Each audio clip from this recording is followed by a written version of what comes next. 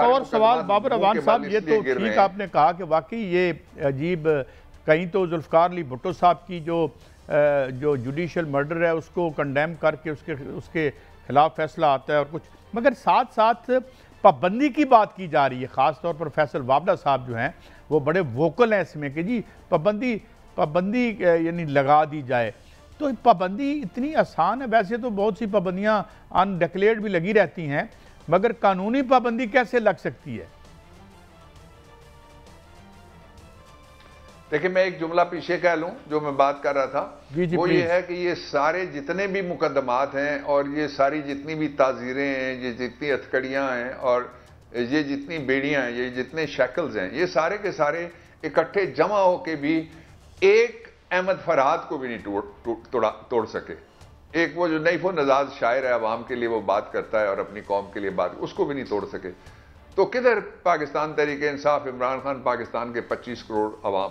اب آپ کا سوال ہے کہ کسی کی خواہش ہے یا کسی کی ضرورت ہے یا کسی کو حکم ہے کہ مجھے پابندی چاہیے، تو نہ خواہش پوری ہونی ہے۔ اور خواہش کے بارے میں میں ایک تھوڑا سا تصرف کے ساتھ ایک شعر آپ کے پروگرام میں کہہ دیتا ہوں، آپ علمی آدمی ہیں، کہ ہزاروں خواہشیں ایسی کہ ہر خواہش پہ دم نکلے۔ دمیں تو نکل رہی ہیں، لیکن عمران خان لوگوں کے دل سے نہیں نکالا جا سکتا۔ تو یہ جو پاکستان کا کانسٹیٹیوشن ہے، اس میں لکھا ہوا ہے کہ کسی بھی جماعت کے خلاف اگر کوئی کمپلینٹ فائل کرنی ہے پروسکرپشن کے لیے تو وہ کمپلینٹ جاتی ہے سیدھی سپریم کورٹ آف پاکستان میں۔ وفاقی حکومت کے پاس کوئی ایسا اختیار نہیں ہے، پارلیمنٹ کے پاس کوئی ایسا اختیار نہیں ہے، کسی اور عدالت کے پاس، الیکشن کمیشن کے پاس کوئی ایسا اختیار نہیں ہے۔ وہاں ریفرنس جاتا ہے اور پھر ریفرنس کے اوپر فیصلہ ہوتا ہے۔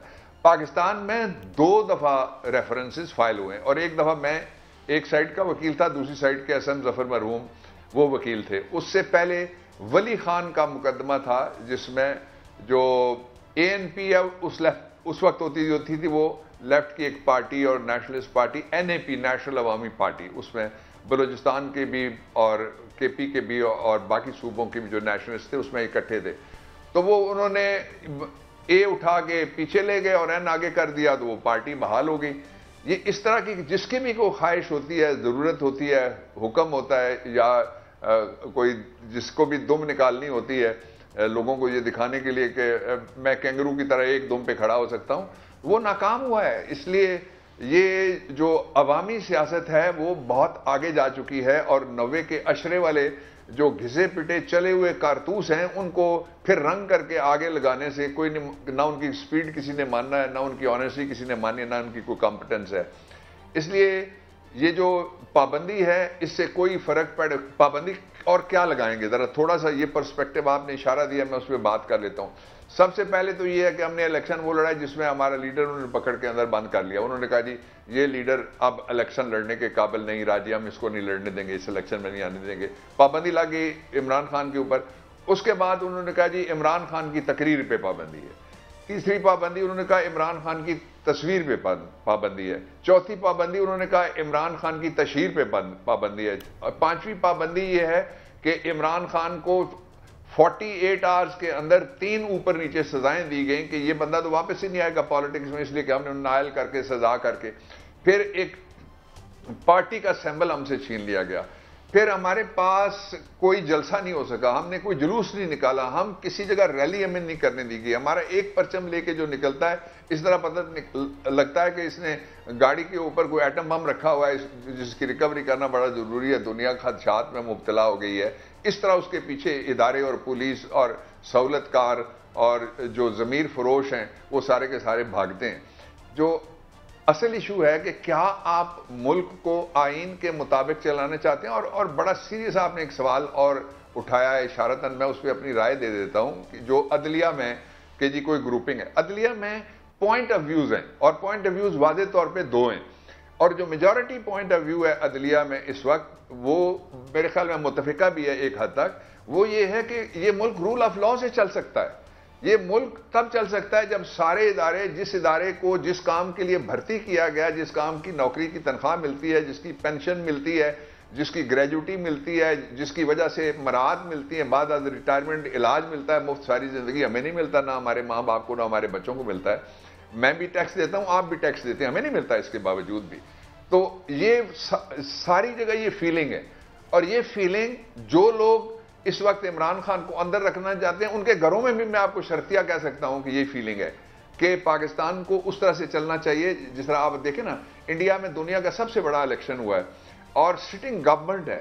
کل راہل نے یہ کہا ہے کہ میں عدلیہ کے خلاف بھی لڑا ہوں۔ میں اپنی انٹیلیجنس ایجنسیوں کے خلاف بھی الیکشن لڑا ہوں۔ وہ کہتا ہے کہ میں اپنی مقتدرہ کے خلاف بھی الیکشن لڑا ہوں۔ اور اس نے کہا کہ میں اپنی اچھا، حکومت سٹنگ گورنمنٹ ڈاکٹر صاحب ایک اور بڑا اہم مسئلہ میں چاہتا ہوں کہ آپ سے زیادہ سے زیادہ استفادہ کروں۔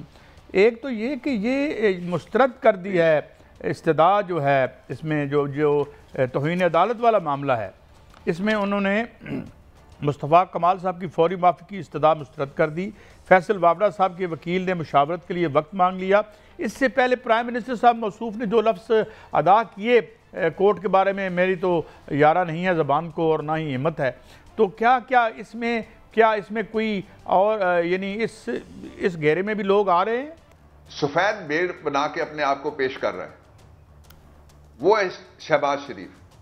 اس نے عدالت کے لیے ایک بڑا کنٹینچوس اور بڑا injurious unceremonious non parliamentary اور انتہائی جاہلانہ میں لفظ استعمال کرتا ہوں۔ ایک لفظ اس نے استعمال کیا وہ لفظ اس نے کیوں استعمال کیا وہ لفظ اس لیے اس نے استعمال کیا ہے کہ یہ عدالت جس دن ان کے حق میں فیصلہ دیتی ہے، اس دن یہ مٹھائیاں بانٹتے ہیں۔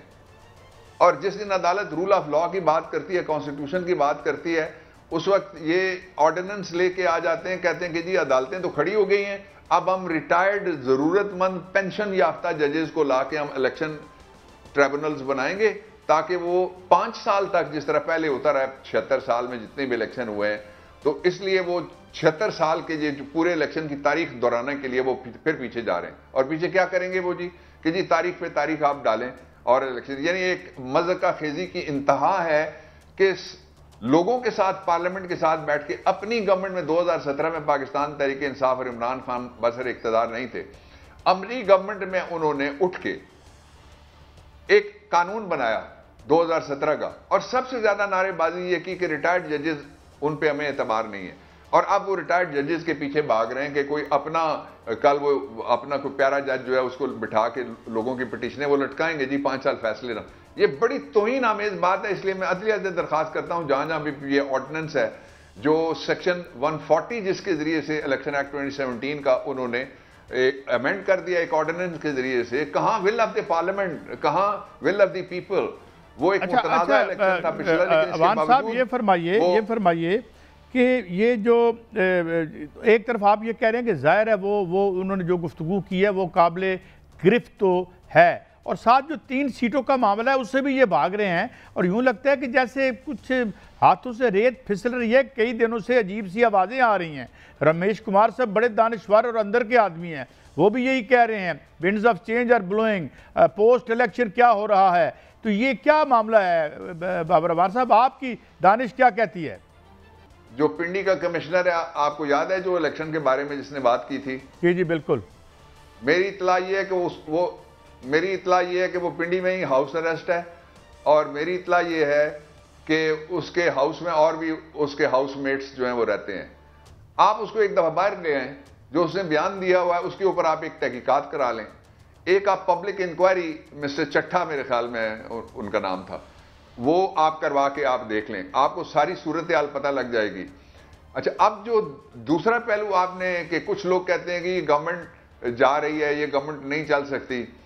ہم گورنمنٹ ہمارا ٹارگیٹ نہیں ہے یہ کیا گورنمنٹ ہے؟ جی یہ تو گورنمنٹ ہے ہی کوئی نہیں فارم فورٹی سیون والے ہیں۔ ہمارا ٹارگیٹ ہے نظام کو درست کرنا۔ عمران خان کی لڑائی، حکومت کی لڑائی نہیں ہے بالکل بھی۔ کسی عہدے کی ہماری لڑائی نہیں ہے بالکل بھی۔ ہماری لڑائی یہ ہے کہ پاکستان ایک آئینی ملک ہے جس کو ریپبلک کہا گیا ہے۔ اور اس ریپبلک کو بڑی دیر کے بعد جا کے اسلامک بھی ساتھ ہم نے لگا دیا ہے اس کے۔ اور اسلامک پہلے ہونا چاہیے ریپبلک بعد میں ہونا چاہیے۔ اس لیے کہ اسلام سے بڑا انصاف اور اسلام سے بڑا اظہار رائے، اسلام سے بڑا احتسابی نظام یعنی سٹنگ خلیفہ ہیں، وہ جاتے ہیں، جوز کے مقابلے میں، عدالت میں مقدمہ ہار جاتے ہیں۔ عدلیہ کو تو اس طرح کی آزادی پاکستان میں دینی چاہیے۔ سٹنگ خلیفہ ہیں، ان پہ سوال آ جاتا ہے کہ آپ نے کرتا کیسے بنایا؟ تو ان کو بیٹا اپنی ایل بائی میں پیش کرنا پڑتا ہے ڈیفنس ایویڈنس میں کہ یہ اپنے حصے کا اس نے مجھے دیا۔ لوگوں نے کہا، آپ لمبے ہیں ہم سب میں سے، تو آپ کا کرتا تو نہیں بن سکتا، آپ کے کپڑے تو نہیں بن سکتے۔ وہاں پہ احتساب کا یہ تصور ہے، کوئی بندہ آ کے اور خاتون آ کے ایک اخلاقی جرم کا تین دفعہ جب تک وہ کنفیشن نہ کرے، سزا نہیں دی جاتی تھی۔ رسول محترم کا فرمان گرامی ہے کہ جو اس اس کے اوپر ایک قانون سازی بھی بلکہ ہوئی ہوئی ہے، جو گلوبل اب چل رہی ہے یہ گفتگو کہ اگر بے شمار لوگ سو بندے بھی چلے جاتے ہیں جو گناہگار تھے اور وہ بری ہو جاتے ہیں، معاف کرنے والی اللہ کی ذات ہے اس سے بہتر ہے کہ ایک بے گناہ کو سزا دے دی جائے۔ یہ اس کے اوپر پھر گھر والوں میں سے اگر کوئی خاتون بھی آپ صلی اللہ علیہ وسلم کا ارشاد گرامی ہے کہ اس طرح کے جرم کو ہوتی، تو ہم اس کو سزا وہی دیتے جو سزا اس کے لیے مقرر کر دی گئی ہے۔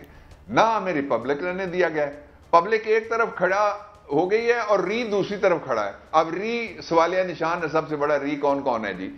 پاکستان میں۔